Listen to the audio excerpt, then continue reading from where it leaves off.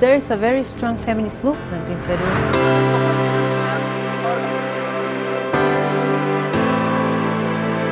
Today, we are gathered here in Arusha, Tanzania.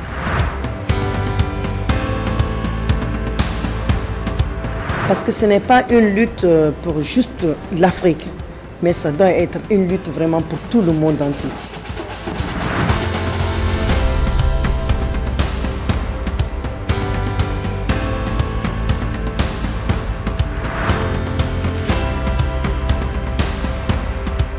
Climate justice and climate justice for women, climate justice for rural women, climate justice for indigenous women. Historias que no eh, eh, debemos de invisibilizar más.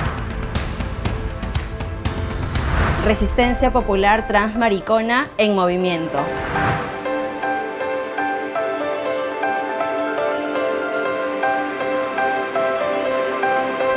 Movement-centered means listening to their need, understanding who they are, where they are, how they work together, and support them based on their needs. For me, it means that we're going to transform into something that's better, more beautiful, more equal, and something that we all can be proud of.